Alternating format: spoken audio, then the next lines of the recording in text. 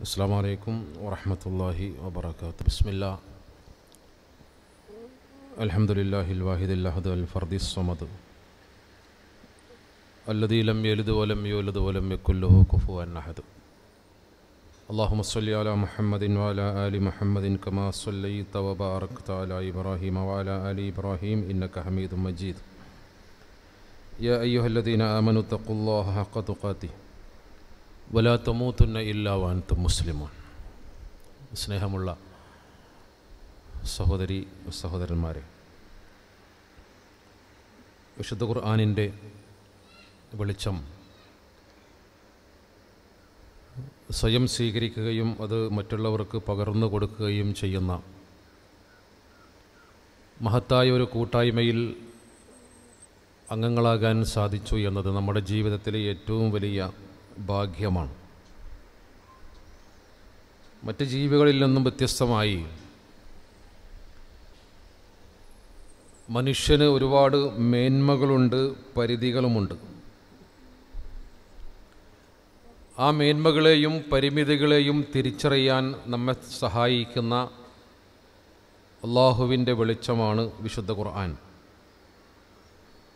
സാധാരണ ജീവജാലങ്ങളൊക്കെ പ്രകൃത്യാ തന്നെ അവയുടെ സ്വാഭാവികമായ ജീവിതത്തിന് തികവത്ത പ്രകൃതിയിലാണ് സൃഷ്ടിക്കപ്പെട്ടിരിക്കുന്നത്. എന്നാൽ മനുഷ്യൻ അങ്ങനെയല്ല. ഒരു മനുഷ്യക്കുഞ്ഞ് പിറന്നു വീഴുമ്പോൾ അതിന്റെ തലച്ചോറിന് ഏതാണ്ട് മുന്നൂറ്റി അമ്പത് ഗ്രാം മാത്രമാണ് തൂക്കമുള്ളത്. പിന്നീട് പടിപടിയായി ആയിരത്തി മുന്നൂറ്റി അമ്പത് ഗ്രാമോളം അത് വളർച്ച പ്രാപിക്കണം. പിന്നെ ഒരുപാട് സമയമെടുക്കും. ജനിച്ച ഉടനെ ഒരു മൃഗത്തിന്റെ കുഞ്ഞ് അതിന്റെ മാതാവിന്റെ അകിട്ടിൽ പോയി പാൽ കുടിക്കുന്നത് അതിന്റെ പ്രകൃതിയാണ്. മനുഷ്യക്കുഞ്ഞിന് അങ്ങനെ കഴിയില്ല. ഇങ്ങനെ ഒരുപാട് ഉദാഹരണങ്ങൾ നമുക്ക് നമ്മുടെ പ്രകൃതിയിൽ നിത്യജീവിതത്തിൽ കാണുവാൻ സാധിക്കും. മനുഷ്യൻ വ്യത്യസ്തനാണ്. അവൻ ആദരണീയനാണ്. മറ്റ് ജീവികൾക്കില്ലാത്ത മാർഗദർശനം അവന് ആവശ്യമുണ്ട് അതാണ് ഹുദയായി നൂറായി സിറാത്തുൽ മുസ്തഖീമായി നമ്മുടെ ജീവിതത്തെ വലയം ചെയ്തു നിൽക്കുന്നത്. അത് കിട്ടിയ ആളുകളാണ് നമ്മൾ ചെറിയ സംഗതിയല്ല. അത് വലിയ സംഗതിയാണ്. അഫമൻ ഷറഹല്ലാഹു സുദ്റഹുലിൽ ഇസ്ലാം ഫഹുവ അല നൂരിമിർ റബ്ബിഹി. ആരെങ്കിലും അള്ളാഹുവിന്റെ വെളിച്ചത്തിലേക്ക് വഴി കാണിക്കപ്പെട്ടാൽ ഇസ്ലാമിലേക്ക് അവന് വഴി തെളിച്ച് കിട്ടിയാൽ അവൻ വല്ലാത്തൊരു പ്രകാശത്തിലാണ്. കാരണം ചുറ്റും ഇരുട്ടാണ്. അതാണ് മതം എന്ന് പറഞ്ഞാൽ ആ വെളിച്ചമാണ് മതം. അള്ളാഹു വലിയുല്ലദീന ആമനോ യുഹ്റിജുഹുമിൻ ളുലുമാത്തി ഇലന്നൂർ പടച്ചോൻ വിളിക്കുന്നത് ആ ഇരുട്ടുകളിൽ നിന്നും വെളിച്ചത്തിലേക്കാണ്. വല്ലദീന കഫറോ ഔലിയ ഉഹുമുത്താഊത്ത് ഇതിന് വിരുദ്ധമായി വെളിച്ചത്തിൽ നിന്നും മനുഷ്യന്മാരെ ഇരുട്ടിലേക്ക് കൊണ്ടുപോകുവാനുള്ള വളരെ ആസൂത്രിതമായ ശ്രമങ്ങൾ എല്ലാ കാലത്തും ഉണ്ടാകുമെന്ന് ഖുർആൻ പറഞ്ഞതാണ്. അവിടെ ഇരുട്ടുകൾ എന്നാണ് ഖുർആാനിന്റെ പ്രയോഗം വെളിച്ചം എന്നാണ് മറ്റൊരു പ്രയോഗം. അതാണ് ഈ വെളിച്ചം. ലുലുമാത്ത് എന്ന് പറഞ്ഞാൽ ജീവിതത്തിന്റെ എല്ലാ മേഖലകളെയും ചൂഴ്ന്നു നിൽക്കുന്ന അന്ധകാര നിബിഡമായ ഒരു ലോകം അവിടെ നിന്ന് ഒരേ ഒരു പ്രകാശത്തിലേക്ക്. അതിന് ജന്മനാൽ തികവൊക്കാത്ത ഈ മനുഷ്യന് മാർഗനിർദ്ദേശം ആവശ്യമുണ്ട്. വിശുദ്ധ ഖുർആൻ ഒരു കാറ്റലോഗാണ് ശരിക്കും പറഞ്ഞാൽ. ഫുർഖാൻ എന്ന് പറഞ്ഞാൽ എന്താണ്? സത്യത്തെയും അസത്യത്തെയും കൃത്യമായി നമുക്ക് മനസ്സിലാക്കി തരുന്ന കാര്യങ്ങൾ കൃത്യമായി വിശദീകരിച്ചു തരുന്ന വർക്കിംഗ് മാനുവലാണ് ഖുർആൻ. അത് കൃത്യമായ ഒരു നിയമസംഹിത അതിന്റെ വിശദീകരണമായ പ്രവാചക തിരുമേനി സല്ലാഹു അലൈ വസ്ല്ലമയുടെ ഇരുപത്തിമൂന്ന് വർഷക്കാലത്തെ ജീവിതം അത് നമ്മുടെ മുമ്പിൽ കൃത്യമായി അവതരിപ്പിക്കുകയാണ്. അതെന്തിനാണ്?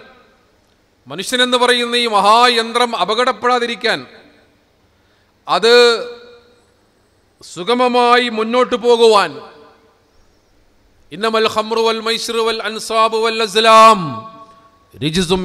ഷെയ്ത്തോൻ വിശുദ്ധ ഖുറാന കൽപ്പന. മദ്യപിക്കാൻ പാടില്ല.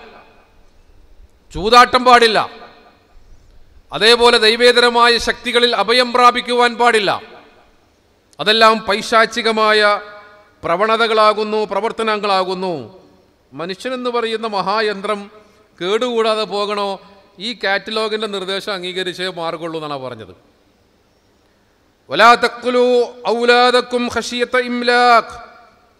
നിങ്ങൾ ദാരിദ്ര്യം ഭയന്നുകൊണ്ട് നിങ്ങളുടെ മക്കളെ കൊലപ്പെടുത്തരുത്. മനുഷ്യകുലത്തിന്റെ നിലനിൽപ്പിന് അടിസ്ഥാനമായി വർത്തിക്കേണ്ടുന്ന ഒരു നിർദ്ദേശം. ഇന്നഹു ഫാഹിഷ ഇന്നഹു കാന ഫാഹിഷ. നിങ്ങൾ വ്യഭിചരിക്കുവാൻ പാടില്ല. അവിഹിതമായ മാർഗത്തിലൂടെയുള്ള ബന്ധങ്ങൾ നിഷിദ്ധമാക്കപ്പെട്ടിരിക്കുന്നു.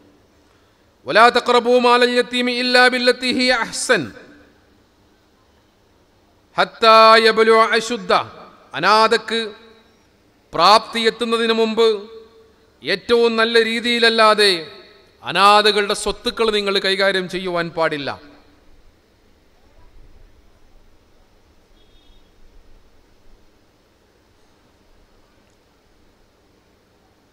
അതേപോലെ തന്നെ ധനം നിങ്ങൾക്ക് അള്ളാഹു ജീവിതത്തിൽ നിങ്ങളുടെ നിലനിൽപ്പിന് ആധാരമായി നിശ്ചയിച്ച അവന്റെ ഏറ്റവും വലിയ സമ്പത്താകുന്നു.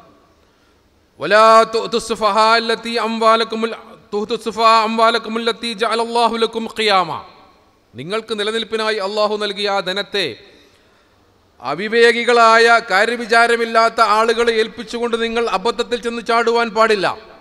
വലാ ഉലൈക കാന മസ്ഊല. നിങ്ങളുടെ കാഴ്ച നിങ്ങളുടെ കേൾവി നിങ്ങളുടെ മനോവിചാരങ്ങളെല്ലാം ചോദ്യം ചെയ്യപ്പെടും. അതുകൊണ്ട് വിവരമില്ലാത്ത കാര്യത്തിന്റെ കൂടെ പോകാൻ നിൽക്കേണ്ടതില്ല. ഇങ്ങനെ ഖുർആൻ നൽകുന്ന എന്തെല്ലാം നിർദ്ദേശങ്ങളുണ്ടോ അതെല്ലാം നമ്മുടെ ഈ ലോകത്തെയും പരലോകത്തെയും ജീവിതം സുഭദ്രമാകുന്നതിന് വേണ്ടിയുള്ള കാര്യവും കൃത്യവുമായ നിർദ്ദേശങ്ങളാണ്. അതിനാണ് നമ്മൾ സാങ്കേതികമായി മതം എന്ന് പറയുക.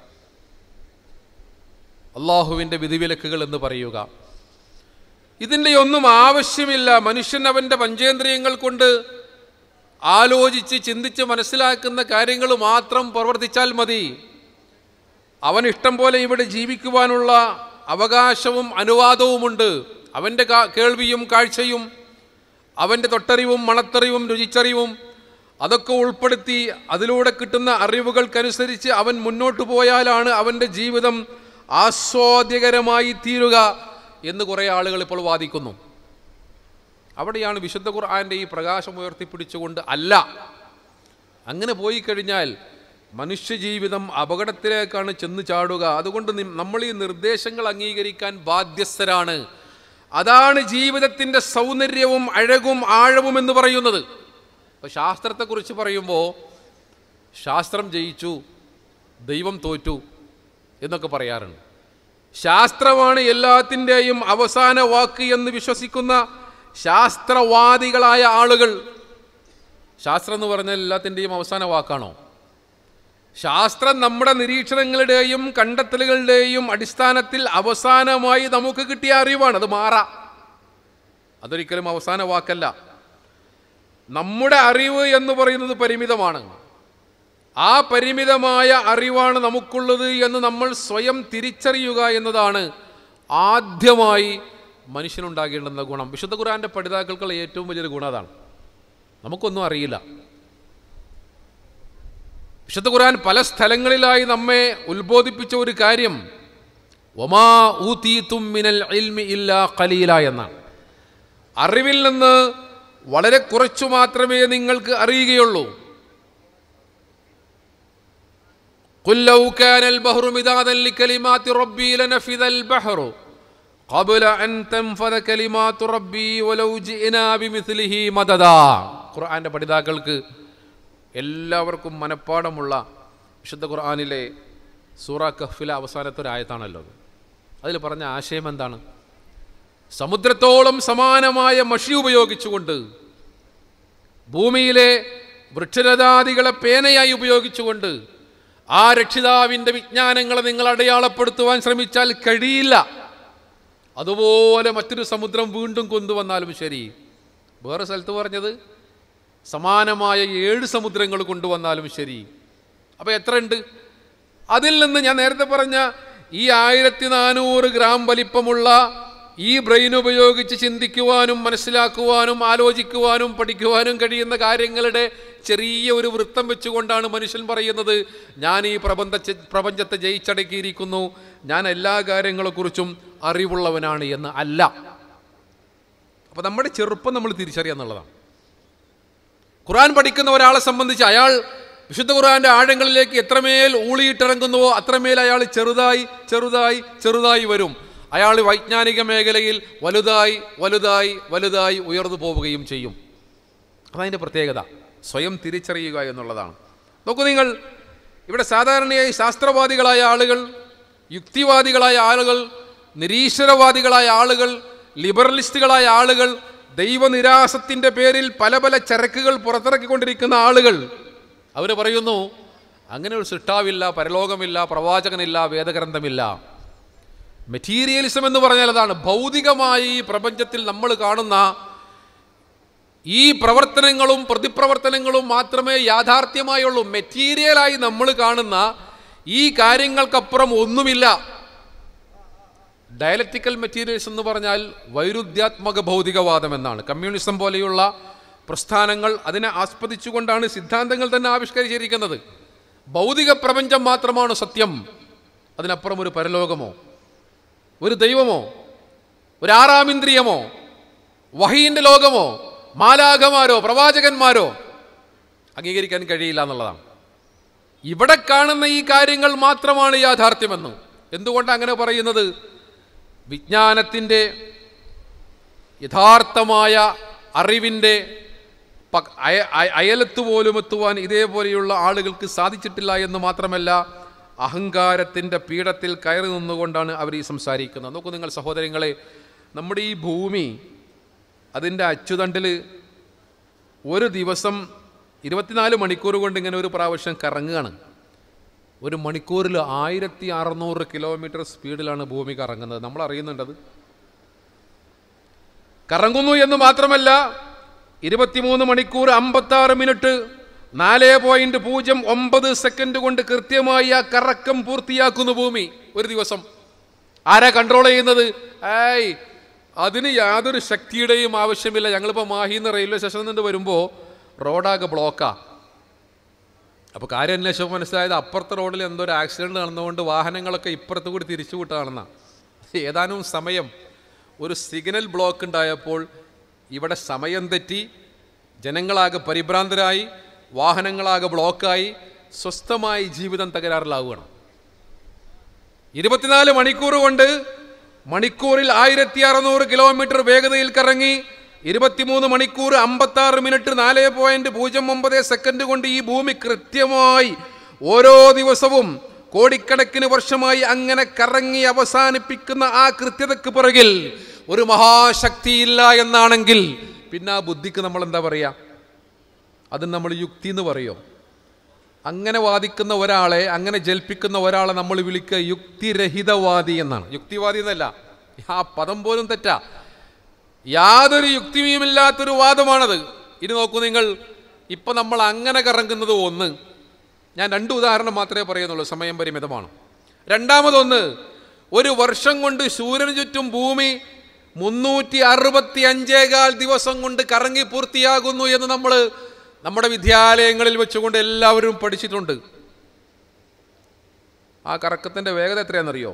ഭൂമി ഇപ്പോൾ സൂര്യന് ചുറ്റും കറങ്ങിക്കൊണ്ടിരിക്കുന്ന വേഗത the revolution speed of earth ഒരു ലക്ഷത്തി ഏഴായിരം കിലോമീറ്റർ പെർ ഹവറാണ് ആയിരത്തി അറുന്നൂറ് കിലോമീറ്ററിൽ ഇങ്ങനെ കറങ്ങുന്ന ഭൂമി ഒരു ലക്ഷത്തി ഏഴായിരം കിലോമീറ്റർ മണിക്കൂർ വേഗതയിൽ ഇങ്ങനെ സൂര്യന് ചുറ്റും കറങ്ങുന്നു. മുന്നൂറ്റി അറുപത്തിയഞ്ച് ദിവസം എന്ന് നമ്മൾ സാമാന്യേന പറയേണ്ടതില്ല. മുന്നൂറ്റി അറുപത്തിയഞ്ച് ദിവസം അഞ്ച് മണിക്കൂർ അമ്പത്തിയൊമ്പത് മിനിറ്റ് പതിനാറ് സെക്കൻഡ് പൂർത്തിയാകുമ്പോൾ ഒരു വർഷം ഭൂമി ആ കറക്കം പൂർത്തിയാകും. എന്തൊരു കൃത്യതയാണ് അതിന്? ഇതിന് പുറകിൽ ഒരു ശക്തിയില്ല എന്നാണോ? അങ്ങനെ ഒരു ശക്തി ഉണ്ട് എന്ന് വാദിക്കുന്നവനാണ് യുക്തിയുടെ വാദം പറയുന്നവൻ. അതില്ല എന്ന് വാദിക്കുന്നവൻ യുക്തിരഹിതവാദിയാണ് എന്ന് പറയുവാൻ നമ്മൾ കാരണം പറയുന്ന അതാണ്. അത് യുക്തിവാദമല്ല അരാജകവാദമാണ്. അരാജകവാദം എന്ന് പറഞ്ഞാൽ സമൂഹത്തിൽ നിയമങ്ങളില്ല നിർദ്ദേശങ്ങളില്ല എല്ലാവർക്കും തോന്നിയതുപോലെ ജീവിക്കാമെന്ന് പറയുന്ന ആളുകൾ മൂല്യങ്ങളെ മുഴുവൻ നിരാകരിക്കുകയാണ്. വ്യക്തിബന്ധങ്ങളിൽ സ്ത്രീ പുരുഷ ബന്ധങ്ങളിൽ കുടുംബ ബന്ധങ്ങളിൽ സാമൂഹിക ബന്ധങ്ങളിൽ സാമ്പത്തിക മേഖലയിൽ ഗുരുശിഷ്യ മേഖലയിൽ കച്ചവട ബന്ധങ്ങളിൽ ഒന്നും എന്താ ആവശ്യമില്ല പ്രത്യേകമായ നിർദ്ദേശങ്ങൾ ആവശ്യമില്ല. വിശുദ്ധ ഖുർആാനെ നൂറ്റാണ്ടുകളായി വിമർശിക്കുന്ന ആളുകൾ വിശുദ്ധ ഖുർആന്റെ അധ്യാപനങ്ങൾക്ക് സമാനമായ വേണ്ട.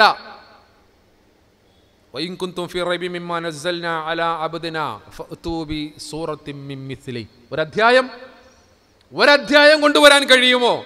ഈ കൊറോണ കാലത്ത് വിശുദ്ധ ഖുർആാന് സമാനമായ ഒരു സൂറത്ത് നമ്മുടെ സോഷ്യൽ മീഡിയയിലൊക്കെ പ്രചരിച്ചിരുന്ന സൂറത്ത് കൊറോണ എന്നതിന്റെ പേര്. അൾജീരിയയിൽ നിന്ന് ജീലു എന്ന് പറയുന്ന ഒരാൾ ഇറക്കിയ ഖുർആാനിന്റെ അതേപോലെ പാരായണം ചെയ്യപ്പെട്ട ഒരു സൂറത്ത്.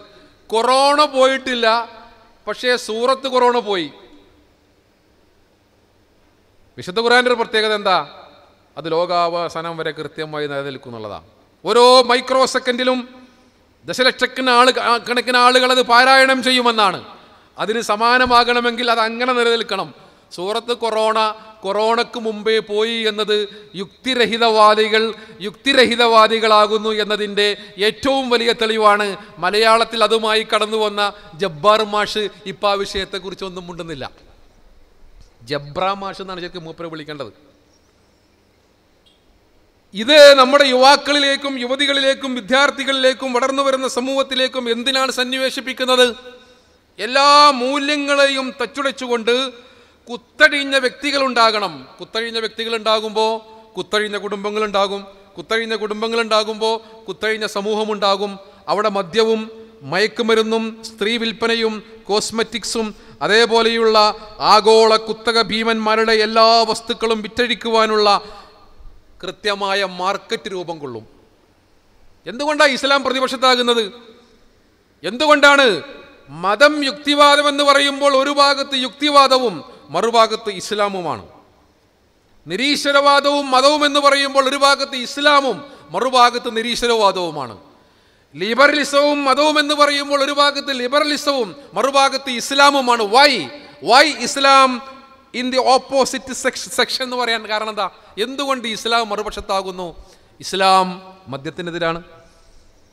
ഇസ്ലാം വ്യഭിചാരത്തെ അംഗീകരിക്കുന്നില്ല. ഇസ്ലാം മയക്കുമരുന്നിനെ അംഗീകരിക്കുന്നില്ല ഇസ്ലാം പലിശയെ അംഗീകരിക്കുന്നില്ല ഇസ്ലാം സ്ത്രീ സൗന്ദര്യത്തെ വിൽപ്പന ചരക്കാക്കുന്നതിനെ അംഗീകരിക്കുന്നില്ല.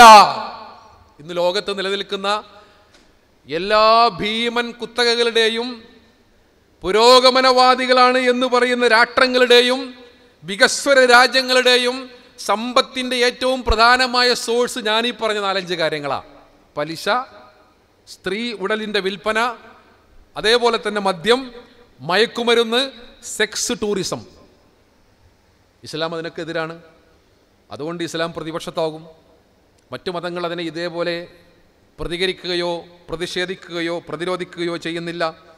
അതുകൊണ്ട് ലോകത്ത് ബില്യൺ കണക്കിന് ഡോളറുകൾ ഓരോ വർഷവും കൊയ്തു കൂട്ടുന്ന ഏറ്റവും വലിയൊരു വ്യവസായത്തിന്റെ പേര് ഞാനിപ്പോൾ പറഞ്ഞാൽ നമ്മളതിന് കണക്കിലൊന്നും പെടാത്തൊരു വ്യവസായമാണത്. ആ വ്യവസായത്തിന്റെ പേര് കോസ്മെറ്റിക്സ് ഇൻഡസ്ട്രി എന്നാണ്.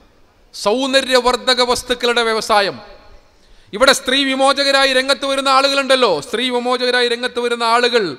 നിങ്ങളറിയോ ലോകത്ത് ഈ ഡെവലപ്ഡ് രാജ്യങ്ങൾ എന്നറിയപ്പെടുന്ന സംസ്കാരത്തിന്റെ വലിയ അപ്പോസ്തലന്മാരായി പ്രത്യക്ഷപ്പെടുന്ന അമേരിക്കൻ യൂറോപ്യൻ വൻകരകളിലെ രാജ്യങ്ങൾ വരെ അവിടെയുള്ള എല്ലാ പ്രധാനപ്പെട്ട രാജ്യങ്ങളിലും പോയി നോക്കിയാൽ നമുക്ക് കാണാൻ കഴിയും. റെഡ് സ്ട്രീറ്റുകൾ ഉണ്ടാകും ചുവന്ന തെരുവുകൾ. ബോംബെയിൽ പോയാൽ കാമാത്തിപ്പുരയുണ്ട് കൽക്കത്തയിലുണ്ട്. ഡൽഹിയിലുണ്ട് ഗോവയിലുണ്ട് മദ്രാസിലുണ്ട്. അവിടെ എന്താ കച്ചവടം ചെയ്യപ്പെടുന്നത്? സ്ത്രീകളെ കച്ചവടം ചെയ്യപ്പെടുകയാണ്. എന്നാൽ സ്ത്രീകൾക്ക് വേണ്ടി വാദിക്കുന്ന ഏതെങ്കിലും ഒരു സംഘടന ഏതെങ്കിലും ഒരു പ്രസ്ഥാനമല്ല ഇസ്ലാമല്ലാത്ത ഏതെങ്കിലും ഒരു ആദർശം അത് നിഷിദ്ധമാകുന്നു. സ്ത്രീ മാന്യയാകുന്നു. അവൾ ഉമ്മയാണ് സഹോദരിയാണ് ഭാര്യയാണ് മകളാണ്. ആദരവർഹിക്കുന്നവളാണ്. എന്ന് പറഞ്ഞുകൊണ്ട് സ്ത്രീകൾക്ക് വാദി വേണ്ടി വാദിക്കുന്ന ഇസ്ലാം അല്ലാതെ ഈ സ്ത്രീ വിമോചനം പറയുന്ന ആരെങ്കിലും ഈ യുക്തിവാദിയോ നവലിബറൽ വാദിയോ നിരീശ്വരവാദികളോ നിർമ്മതവാദികളോ ഭൗതികവാദികളോ ആരെങ്കിലും ഈ ചുവന്ന തെരുവുകൾ അടച്ചുപൂട്ടണമെന്ന് പറഞ്ഞുകൊണ്ട് ഒരു അരപ്രസ്താവന ഏതെങ്കിലും ഒരു പത്രത്തിന്റെ മൂലയിൽ നിങ്ങൾ കണ്ടിട്ടുണ്ടോ? കാണൂല. കാരണം എന്താ അറിയോ? അവരുടെ വരുമാനത്തിന്റെ ഏറ്റവും വലിയ മാർഗം അതാണ്. അതാണ് ലിബറലിസം എന്ന പേരിൽ നമ്മുടെ സമൂഹത്തിലേക്ക് ഇപ്പോൾ ക്യാമ്പസുകളിലൂടെ മീഡിയകളിലൂടെ ഭരണകൂടത്തിന്റെ ഒത്താശയിലൂടെ നമ്മുടെ യുവാക്കളിലേക്കും യുവതികളിലേക്കും വിദ്യാർത്ഥികളിലേക്കും സമർത്ഥമായി കൈമാറ്റം ചെയ്യപ്പെട്ടുകൊണ്ടിരിക്കുന്നത്. വിശുദ്ധ ഖുർആാന്റെ പഠിതാക്കൾ ഖുർആൻ കൊണ്ട് അതിനെ പ്രതിരോധിക്കുവാനുള്ള ആർജവം നേടേണ്ടതുണ്ട്.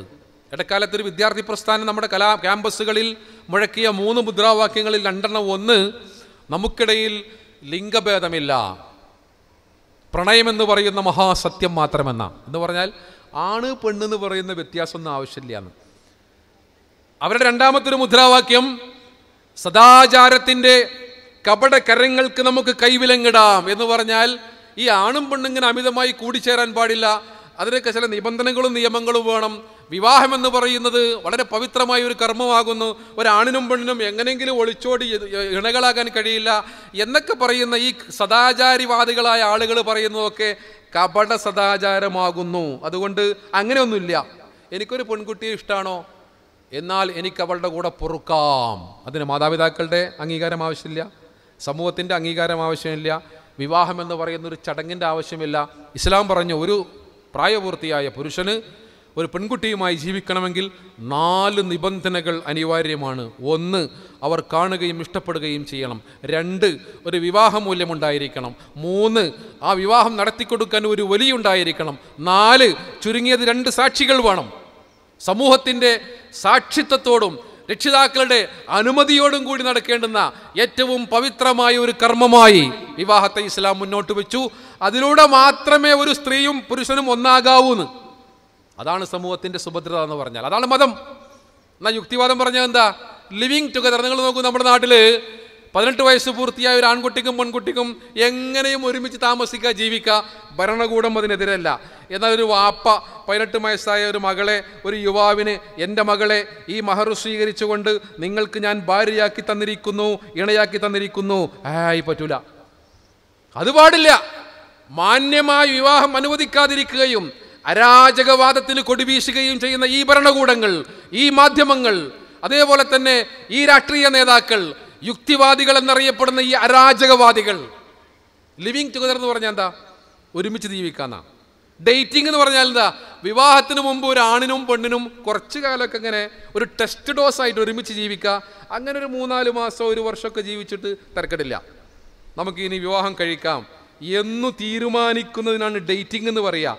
ഇതുമൂലമുണ്ടായ ദുരന്തങ്ങൾ കാരണം ഫ്രാൻസ് ഉൾപ്പെടെയുള്ള യൂറോപ്യൻ രാജ്യങ്ങളും അമേരിക്കൻ ഐക്യനാടുകളും വലിച്ചെറിഞ്ഞ ചീഞ്ഞളിഞ്ഞ ആ സമ്പ്രദായമാണ് സാംസ്കാരിക കേരളം എന്ന് പറയുന്ന നമ്മുടെ കേരളത്തിന്റെ ക്യാമ്പസുകളിലേക്ക് ചില വിദ്യാർത്ഥി പ്രസ്ഥാനങ്ങൾ ഇപ്പോൾ കടത്തിക്കൊണ്ടുവരുന്നത്. ഞാൻ നേരത്തെ പറഞ്ഞ വിദ്യാർത്ഥി പ്രസ്ഥാനം ഈ ആഴ്ച പുറത്തിറക്കിയ മുദ്രാവാക്യം എന്താ പറയുക ഞങ്ങൾക്ക് ലിംഗഭേദമില്ലാത്ത സദാചാരബോധമില്ലാത്ത നല്ല നാളക്കായി നമുക്ക് മുന്നേറാമെന്നാണ് എസ് എഫ് ഐ എന്ന് പറയുന്ന പ്രസ്ഥാനം.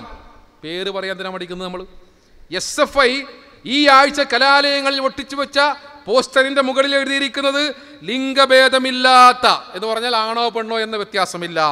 സദാചാര ബോധമില്ലാത്ത നല്ല നാളെ നല്ല നാളായിരിക്കും.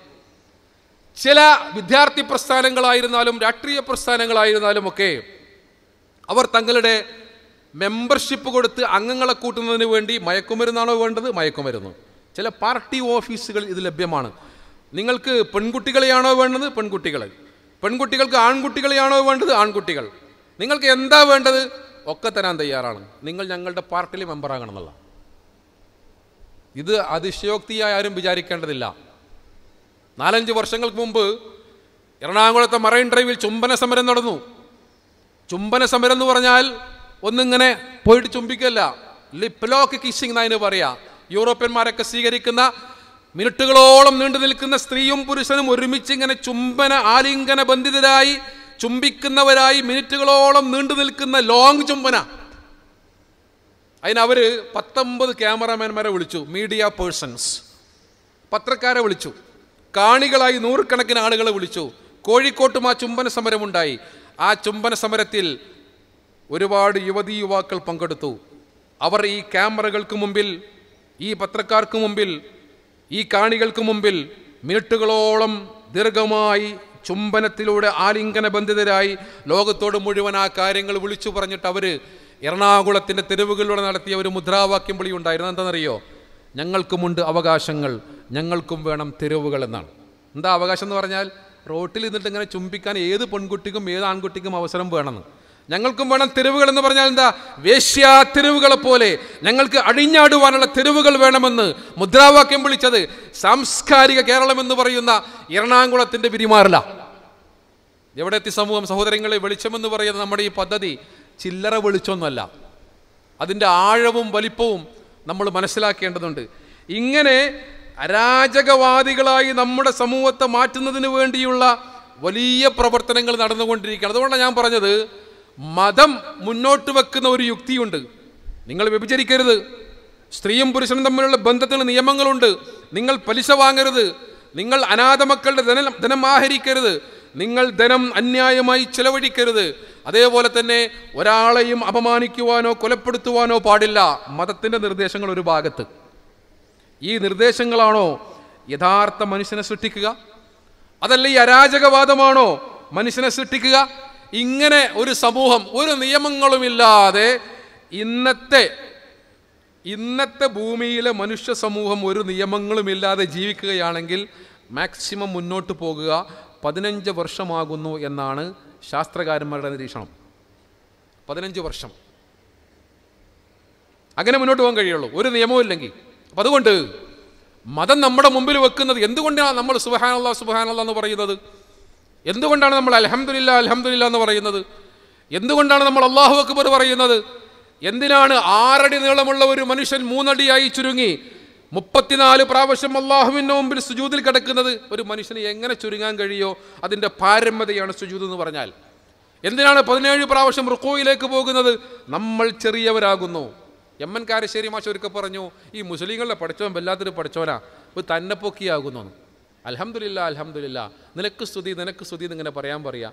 ഒരു രാജാവ് അങ്ങനെ പറഞ്ഞാണ്ടാവും. അള്ളാഹു അക്ബർ അള്ളാഹു അക്ബർ. പഠിച്ചവനെ ഇജന്നെയാണ് വലിയ ആൾ ഇജന്നാണ് വലിയ ആൾ എന്നിങ്ങനെ പറയിപ്പിക്കുക. എന്നിട്ട് അദ്ദേഹം പറയുന്നുണ്ട് അദ്ദേഹം ഒരു നിരീശ്വരവാദിയല്ല.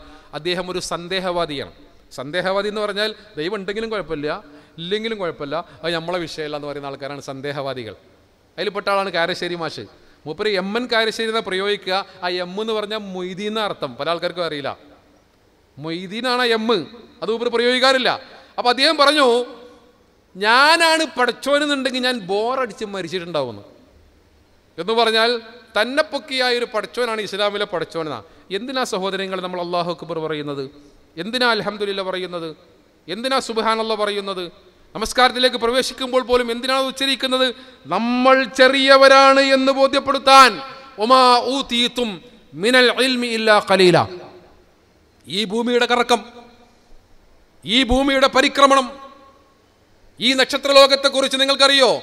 സൂര്യൻ കഴിഞ്ഞാൽ ഭൂമിയോട് ഏറ്റവും അടുത്ത് നിൽക്കുന്ന പ്രോക്സിമ സെഞ്ചുറി എന്ന് പറയുന്ന നക്ഷത്രത്തിലേക്ക് ഭൂമിയോട് സൂര്യൻ കഴിഞ്ഞാൽ പിന്നെ അടുത്ത് നിൽക്കുന്ന നക്ഷത്ര അതിലേക്ക് നമുക്കെത്താൻ four point two five light year ദൂരം. പ്രകാശം ഒരു സെക്കൻഡിൽ മൂന്ന് ലക്ഷം കിലോമീറ്റർ സഞ്ചരിക്കുന്ന പ്രകാശം നാലേകാൽ വർഷം സഞ്ചരിച്ചാലേ നമുക്ക് അടുത്ത നക്ഷത്രത്തിലെത്താൻ കഴിയുള്ളൂ. നമ്മൾ ചെറിയവരല്ലേ? ശാസ്ത്രത്തെക്കുറിച്ച് പഠിച്ച യുക്തിയും ബോധവുമുള്ള എല്ലാവരും ഇത് പറഞ്ഞിട്ടുണ്ട്. ഐസക് ന്യൂട്ടൺ എന്ന് പറയാൻ നോക്കൂ നിങ്ങൾ. ഐസക് ന്യൂട്ടൺ ഈ നൂറ്റാണ്ടിൽ ജീവിച്ച് കഴിഞ്ഞ നൂറ്റാണ്ടിൽ ജീവിച്ച് മരിച്ചുപോയ മഹാനായ ശാസ്ത്രകാരൻ. നമുക്കറിയാവുന്ന ശാസ്ത്ര പ്രതിഭകളുടെ പേര് ഏതാൻ പറഞ്ഞപ്പോൾ നിങ്ങളൊക്കെ ഒന്ന് നിട്ടാൽ ചിലപ്പോൾ ഐസക് ന്യൂട്ടൺ ആയിരുന്നു. ന്യൂട്ടൺ പറഞ്ഞത് എന്താ? ന്യൂട്ടൺ ഇതിനെക്കുറിച്ച് പഠിച്ചു. ഡിവൈൻ ഹാൻഡ് എന്നാണ് ശാസ്ത്രലോകത്ത് ബുദ്ധിയുള്ള എല്ലാ ശാസ്ത്രകാരന്മാരും യുക്തിവിചാരമുള്ള എല്ലാ ശാസ്ത്രകാരന്മാരും പറഞ്ഞത് ഈ പ്രപഞ്ചത്തിന്റെ ഈ താളപ്പൊരുത്തത്തിന് പിറകിൽ ഒരു മഹാശക്തിയുണ്ട്. അതിന്റെ പേരാണ് ഡിവൈൻ ഹാൻഡ് എന്ന് പറഞ്ഞാൽ. ന്യൂട്ടൻ അതിനെ അടയാളപ്പെടുത്തി എങ്ങനെ അറിയോ നിങ്ങൾ ഞാൻ കടൽ തീരത്ത് കളിച്ച് നടക്കുന്ന ഒരു കുട്ടിയെ പോലെയാണെന്നാണ് വിശുദ്ധ ഖുർആൻ പഠിക്കുന്ന ഒരാൾക്ക് അയാളുടെ വലിപ്പവും മനസ്സിലാകും ചെറുപ്പവും മനസ്സിലാകും. ന്യൂട്ടൻ ആത്യന്തികമായി ഒരു ദൈവത്തെക്കുറിച്ച് സംസാരിച്ച ആളാണ്. അദ്ദേഹം പറഞ്ഞു കടൽ തീരത്ത് ഇങ്ങനെ കളിച്ചു നടക്കുന്ന ഒരു കുട്ടി എന്തൊക്കെയാ കുട്ടിക്ക് കിട്ടുക തിരമാലകൾ? കടൽക്കരയിലേക്ക് ആ തിരമാലയിലൂടെ പുറത്തേക്കിടുന്ന കക്കയുടെയും ചിപ്പിയുടെയും ഒക്കെ തോടുകൾ ചെറിയ ചരൽക്കല്ലുകൾ അതൊക്കെ പെറുക്കിയിട്ട് ഇങ്ങനെ കടലോരത്തു കൂടി നടക്കുന്ന ഒരു കുട്ടിയെ പോലെയാകുന്നു ഞാൻ. I am like a small child playing on the sea shore picking pebbles while the boundless ocean is laying in front of me undiscovered. ഒരിക്കലും കണ്ടെത്താൻ കഴിയാത്ത ആഴമേറിയ അത്ഭുതങ്ങളുടെ സമുദ്രം എന്റെ മുമ്പിൽ ഇങ്ങനെ പരന്നു കിടക്കുമ്പോൾ ആ സമുദ്രത്തിൽ എന്തെല്ലാമുണ്ട് മുത്തും പവിഴവുമുണ്ട് മത്സ്യങ്ങളുണ്ട് ജലജീവികളുണ്ട് ആഴമേറിയ ഗർത്തങ്ങളുണ്ട്. മനുഷ്യനെത്തിപ്പെടാത്ത ഒരിക്കലും എത്തിപ്പെടാൻ കഴിയാത്ത അങ്ങേയറ്റം ദുർഘടമായ ഏരിയകൾ സമുദ്രത്തിലുണ്ട്. ആ സമുദ്രത്തിന്റെ മുമ്പിൽ ഇങ്ങനെ നിൽക്കുമ്പോൾ ഈ തീരത്ത് നിൽക്കുന്ന കുട്ടിയെപ്പോലെയാകുന്നു ഞാൻ എന്ന് പറഞ്ഞ ന്യൂട്ടന്റെ സംസാരമുണ്ടല്ലോ അത് ചെറിയ സന്ദേശമല്ല. അങ്ങനെ സഹോദരങ്ങളെ നമുക്ക് നമ്മെ തിരിച്ചറിയുവാൻ സഹായിക്കുന്ന നമ്മളാരാണ് എന്ന് നമ്മളെ നിരന്തരമായി ബോധ്യപ്പെടുത്തുന്ന വിശുദ്ധ ഖുർആൻ കയ്യിൽ പിടിച്ചുകൊണ്ട് റമദാനിന്റെ തിരുമുറ്റത്ത് നമ്മൾ നിൽക്കുന്നത് പ്രവാചക തിരുമേനി സല്ലാഹു അലൈഹി വസ്ലമിയുടെ ഒരു പ്രാർത്ഥന. അതുകൂടെ എന്റെ ഈ സംസാരത്തിന്റെ അവസാനമായി ഞാൻ സൂചിപ്പിക്കുകയാണ്. റസൂൽ അലൈഹി സ്വല്ലാഹു അലൈഹി വസല്ലം ഫഅൽഹമഹ ഫുജൂറഹ വതഖ്വാഹ ഖദ് അഫ്ലഹ മൻ എന്ന ആയത്ത് കേട്ടപ്പോൾ നമ്മുടെ മനസ്സിന് അതിന്റെ തെമ്മാടിത്തരത്തിലുള്ള സ്വഭാവമുണ്ട് നന്മയുടെ സ്വഭാവമുണ്ട്. അതിന്റെ സത്യബോധനവുമുണ്ട് ദുർബോധനവും മനസ്സിലുണ്ട്. ഏതിനെയാണ് നമ്മൾ നട്ടു നനച്ച് വളർത്തുന്നത് അത് വലുതാവും. ഈ ആയത്ത് കേട്ടപ്പോൾ പ്രവാചക തിരുമേനി സല്ലല്ലാഹു അലൈ വസല്ലമ ഒരു പ്രാർത്ഥന പ്രാർത്ഥിച്ചു. ആ പ്രാർത്ഥന അള്ളാഹുമ്മ ആത്തി നഫ്സി തഖ്വാഹ വസക്കിഹ അൻത ഖൈറു മൻ സക്കാഹ. അൻത വലിയുഹാവോ മൗലാഹ. പഠിച്ചവനെ എന്റെ മനസ്സിനെ നീ സംസ്കരിക്കണമേ. നീയാണ് അതിന്റെ യജമാനനും നിയന്ത്രകനും. നിന്നോട് പ്രാർത്ഥിക്കുകയല്ലാതെ നമുക്ക് മറ്റു മാർഗങ്ങളില്ല എന്നാണ്. അതുകൊണ്ട് സഹോദരങ്ങളെ പ്രാർത്ഥനാ നിർഭരമായ മനസ്സുമായി വിശുദ്ധ ഖുർആാനെ സമീപിക്കുന്ന ആളുകൾക്ക് യുക്തിഭദ്രമായ ഇസ്ലാമിന്റെ ആദർശം കൃത്യമായി മനസ്സിലാക്കുവാൻ സാധിക്കും നമ്മുടെ നാട്ടിൽ. യുക്തിവാദം എന്ന പേരിൽ ലിബറലിസം എന്ന പേരിൽ പുതിയ പുതിയ പേരുകളിൽ രംഗത്ത് വരുന്ന ഈ വ്യാജ ചരക്കുകൾ നമ്മുടെ സമൂഹത്തെ അസ്ഥിരപ്പെടുത്താൻ മാത്രമാണ് സഹായിക്കുക. നമ്മളെ തിരിച്ചറിയേണ്ടതുണ്ട്. ആ സന്ദേശം നമ്മളുമായി ബന്ധപ്പെട്ട ആളുകളിലേക്ക് നമ്മൾ കൈമാറേണ്ടതുണ്ട്. അള്ളാഹു സുബാനോ താല നമ്മെ അനുഗ്രഹിക്കുമാറാകട്ടെ. വാഹൃദാവാന അനിൽ അഹമ്മദില്ലാഹി റബിലാലമീൻ അസ്സാം വലൈക്കും വാഹമത്തല്ലാഹി വബർക്കാത്തു